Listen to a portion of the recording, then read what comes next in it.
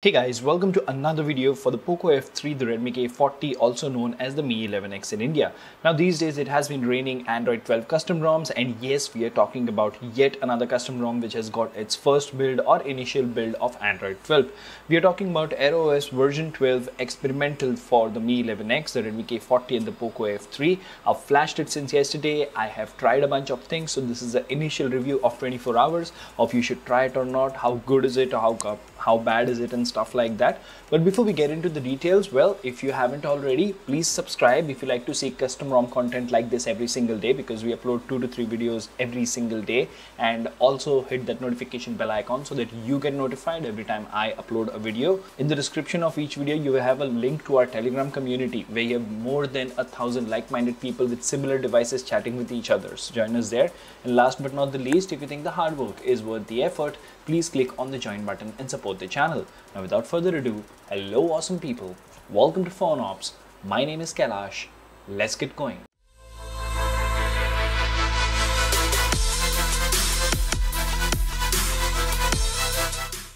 Alright, so let's see what we have here. We have ArrowOS 12 experiments Android 12 updated on the 23rd of October 2021. Now I know I'm making this video a little late, but there are reasons behind that and let's not get into that you have your flashing instructions and also let me know in the comment section if you want me to make a video of how to install ArrowOS the official way because that apparently makes a difference and uh, you have the change log and stuff like that so let's quickly go ahead and talk about this wonderful ROM now you do see that I have the phone charged to 100% that means I have tested the charging with the 33 watt charger and I have also sort of tested the battery backup the benchmark numbers the smoothness of the UI and this video will give you a clear answer if you should give it a try or not. Now the moment you boot into this particular ROM, you will see that you're greeted with a very very clean and minimalistic look. You don't really have a lot of applications.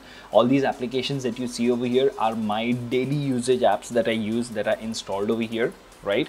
So if you see over here, you have a very very basic camera application ignore that. There's no bug in the camera. That's because of different lighting conditions. But yeah the camera application is very basic and it works fine. You can definitely go ahead and install gcam and it should be working just fine as well. From the top to bottom you do see the whole android 12 thing going on with material you doing its magic.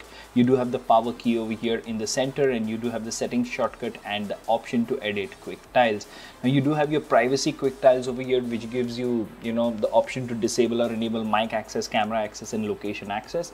And then you have extra dim and a couple of other features. So the quick tiles are working just fine, no issues whatsoever. Now, if you talk about the screen recorder, it does have device audio and microphone. So it can record internal and external audio. So let's click on start over here.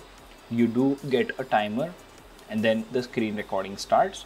So let's see here well at least in the UI I don't have any stutters. Let's actually go to Google because we don't have Google feed there. Let's go ahead and reload it. Okay. All right. Yeah. So I don't see any stutters in the UI while recording which is good because in most of the Android 12 custom ROMs if I record gameplay using the inbuilt screen recorder I am having issues. So let's see over here. Let's open this using hmm, Google Photos. No issues there yeah.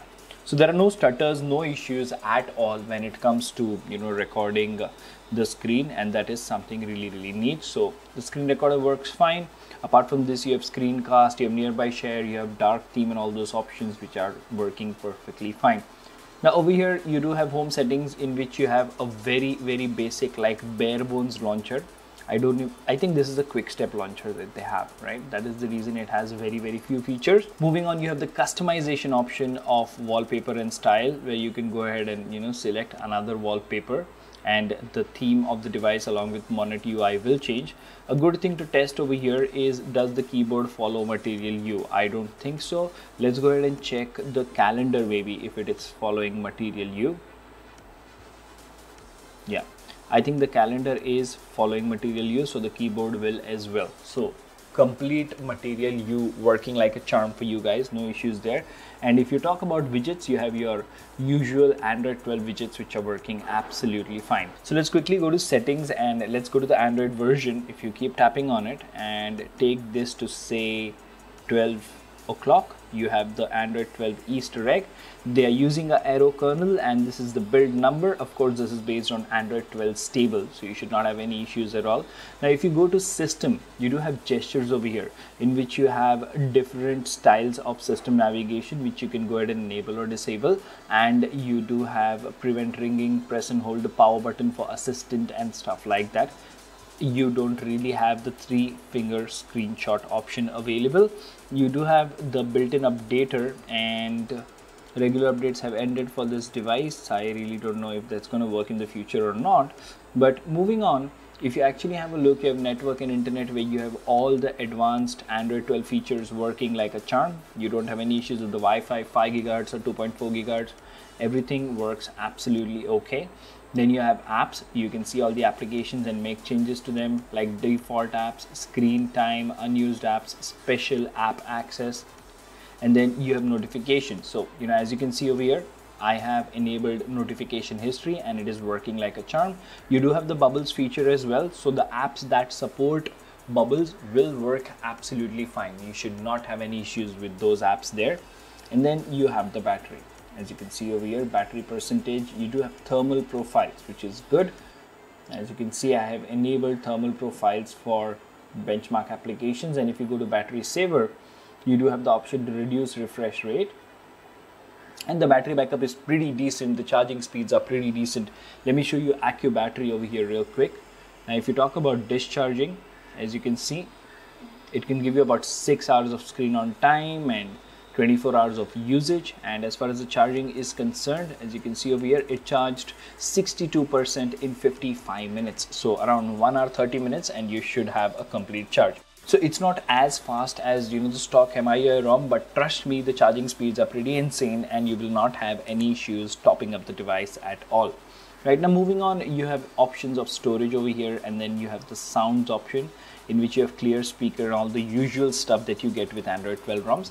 Now, once you go to display, you do see that you have these very very basic options but you have the minimum and maximum refresh rate between 60 and 120 and you do have this option of increase touch responsiveness which is really really good and as i said earlier you have your wallpaper in style over here and under security you have your fingerprint scanner which works absolutely fine.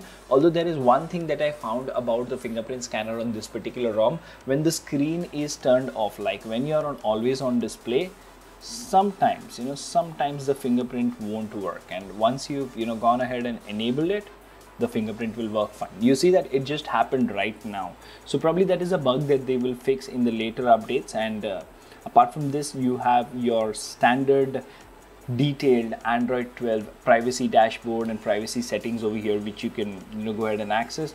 You have the option of ArrowOS stats which gives us a hint that this is a custom ROM. And then you have your granular control on location access. You have your passwords and accounts. Digital well-being is present and it works like a charm. No issues there and then as I said you have system. So all in all if you ask me about ArrowOS 12 on the Mi 11X trust me it is a brilliant start. You know i've not had any random reboots. I've not had the phone overheating. I've not had any major issues at all. The phone has been working just fine in the last 24 hours. It's not that difficult to flash.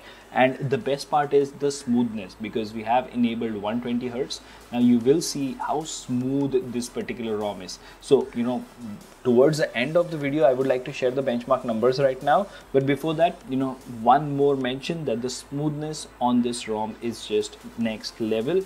So let me show you a ufo test over here which will you know give us a clear indication of what refresh rate are we running at. As you can see we are constantly running at 120 fps which is really really neat. Now let's quickly go ahead and talk about the benchmark numbers of ArrowOS 12 so let's first talk about the cpu throttle test Alright, now as you can see over here, the average performance score was 228,896 GIPS and the CPU throttled to 91% of its max performance. So that's a pretty decent score for an initial build of ArrowOS 12. Now let's go ahead and talk about the Geekbench numbers over here real quick. 957 single core, 2881 multi-core. Not the best score, not the highest score. We are missing about 50 points on the single core and about 500 or 400 points on the multi-core compared to the latest Android 12 beta on MIUI.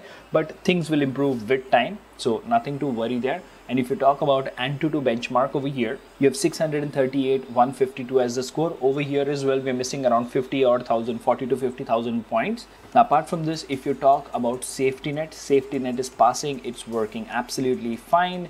And that's a good start for any particular ROM team as you can see over here the device is certified and if you talk about DRM info Widevine L1 certification is present so although this is an experimental initial build of Arrow OS 12 for the Mi 11X.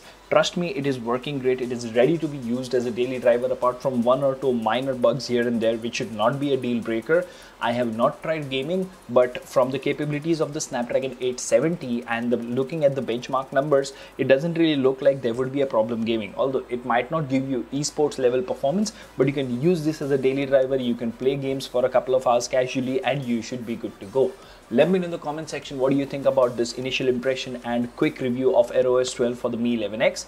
Until the next one, this is Kailash signing off at PhoneOps. Keep smiling. Take care. Goodbye.